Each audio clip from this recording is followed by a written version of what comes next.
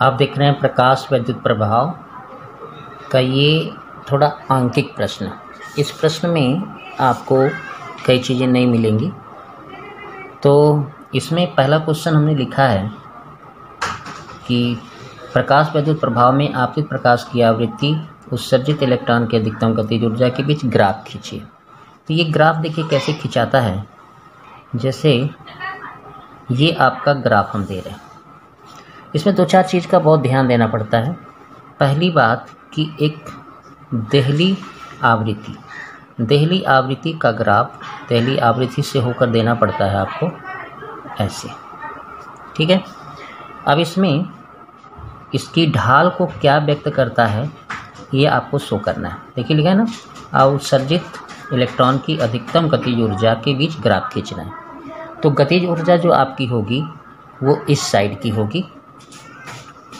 ईके के रूप में, है ना? और ये हो जाएगी प्रकाश की आवृत्ति म्यू के रूप में, ठीक है? ये ढाल क्या व्यक्त करता है? ढाल जो होता है, ढलाव जिसको कहते हैं, ढलान, वो ए को व्यक्त करता है और टेन थीटा बराबर होता है आपका एच बटे ई ये व्यक्त करता है। यहाँ पे ई इलेक्ट्रॉन का आवेश है और एच फलांक नियतांक है। ये आपको समझ में आ गया? ये क्या है? दहली आवृत्ति। ये आपको देना पड़ेगा। ये दहली आवृत्ति है। ये प्रकाश की आवृत्ति और कनेटिक एनर्जी के बीच में ग्राफ है। ये समझ में आ गया आप लोग को? तो इस तरह से ये उत्सर्जित इलेक्ट्रॉन की गतिज ऊर्जा और आवृत्ति के बीच खींचा हुआ ग्राफ है। दूसरा है, इस प्रयोग, उस प्रयोग का नाम बताइए या लिखिए जिसमें इलेक्ट्रॉन की तरंग प्रकृति सिद्ध की थी। यह सिद्ध होता है। वो प्रयोग है डेविसन, जर्मर प्रयोग।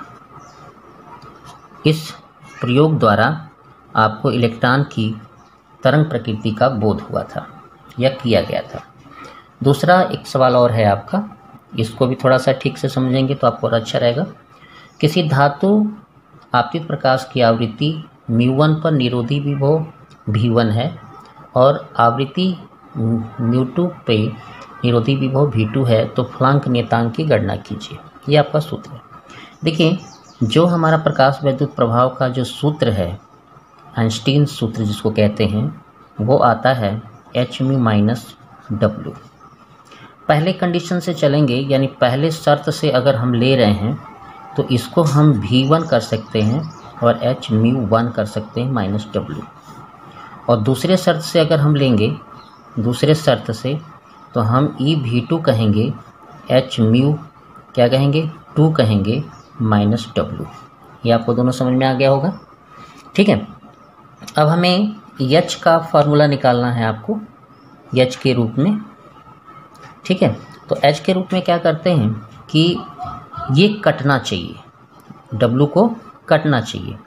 एक कह लीजिए, ये दूसरा कह लीजिए तो एक में से दो को घटा दीजिए। घटाएँगे तो क्या आएगा देखिए। E V one minus V two आएगा।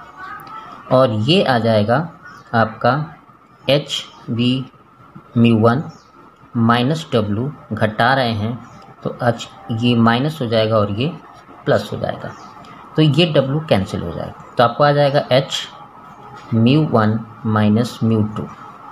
और यहाँ E V one minus V two. तो एच बराबर बड़े आराम से ये नीचे उतार सकते हैं।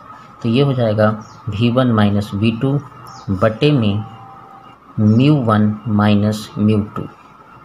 समझ में आ गया? ये आपका प्रूफ है।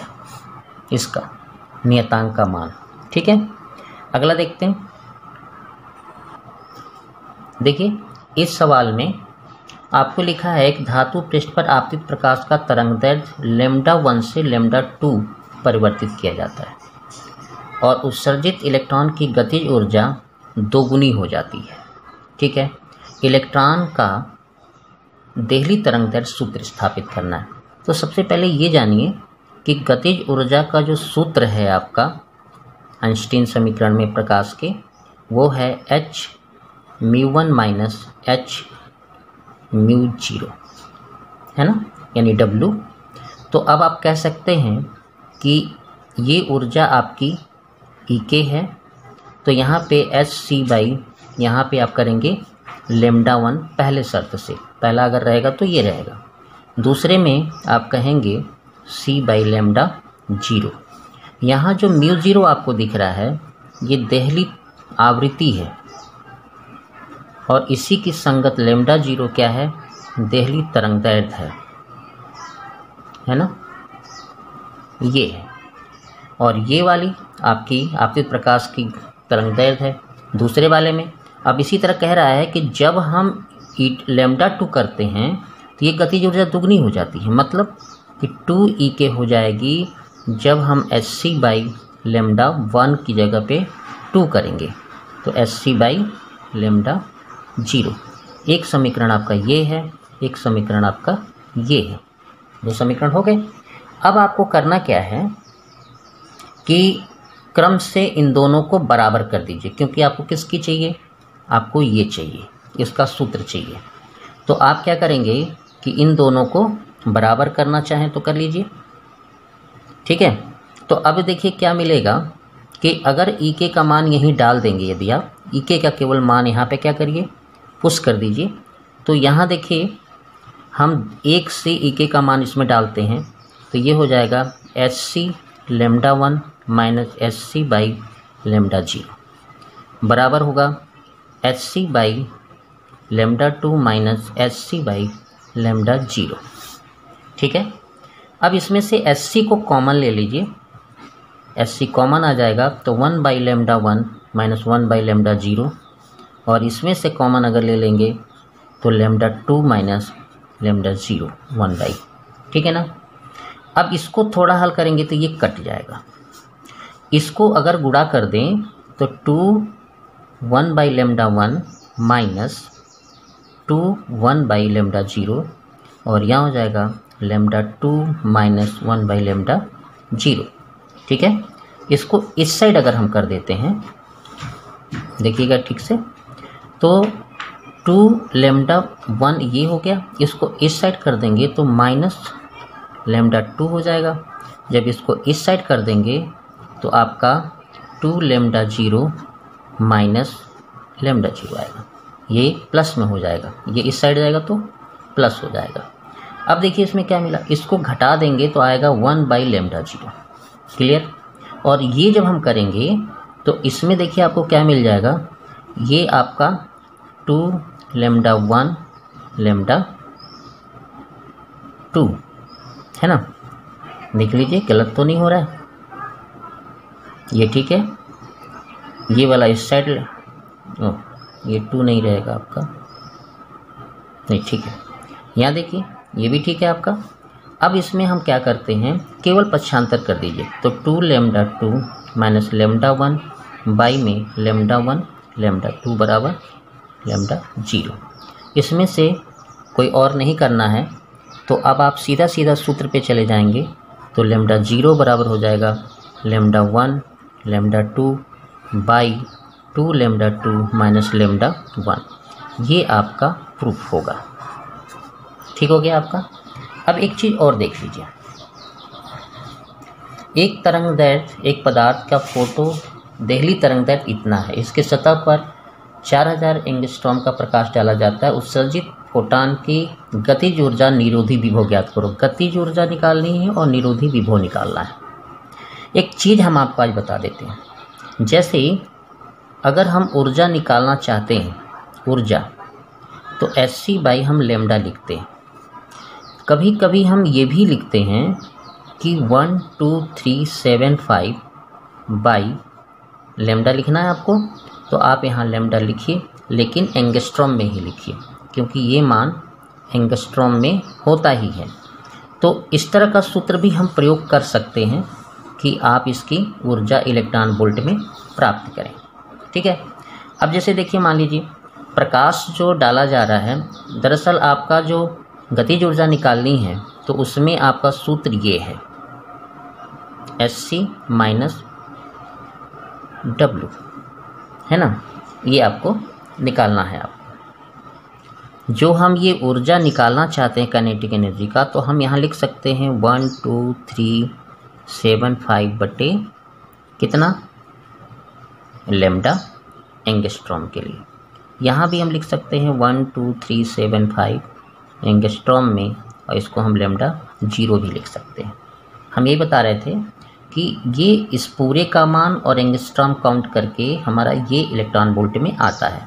तो हम ऐसा कर सकते हैं। तो one, two, three, seven, five, by आप कर सकते हैं। पहला दिल्ली तरंग दैर नहीं है, ये चार हज़ार। तो आप चार हज़ार एंगस्ट्रॉम करेंगे, यहाँ एंगस्ट्रॉम करेंगे, कैंसिल होगा। यहाँ one, two, three, seven, five करेंगे, यहाँ पे आप छः हज़ार करेंगे एंगस्ट्रॉम यहाँ भी है, एंगस्ट्रॉम यहाँ भी है तो ये कैंसिल हो जाएगा। तो अब देखिए आप सीधा सीधा एक सिंपल वे में जाइए। तो बारह, तीन, सात, पाँच बटे कितना लिख सकते हैं? चार। दशमलव लगा दिया हमने। यहाँ बारह, तीन, सात, पाँच। यहाँ दशमलव लगा देंगे तो लिखेंगे छः। ये किसमें आंसर आ रहा है? इलेक्ट्रॉन वोल्ट में। किसमें आ रहा है? इलेक्ट्रॉन वोल्ट में। क्लियर समझ में आ रहा है? तो अब देखते हैं। तो ई e के बराबर हो जाएगा, हम भाग देंगे। तो चार तियाई बारह। ठीक है? चार तियाई क्या हो गया?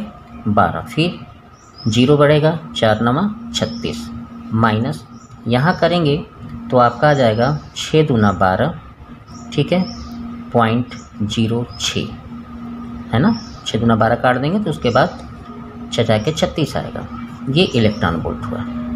तो ई e के बराबर हो गया हमारा, घटा लेंगे तो one point zero three electron volt एक आंसर आपका आ गया अधिकतम गतिज ऊर्जा का अब इसी में हमको निकालना क्या है?